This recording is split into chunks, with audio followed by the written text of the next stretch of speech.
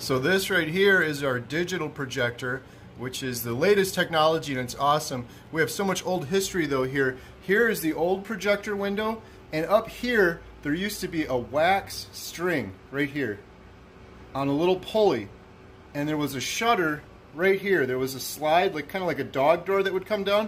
Do you know why that was a wax string?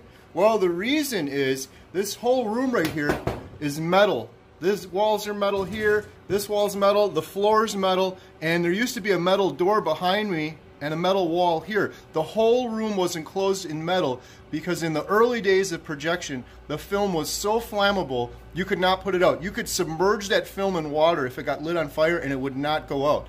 And so they had these doors right here where the um, lens was aimed and it was a wax string because it would melt if there was ever a fire and the door would drop down, you'd have a fully fireproof room.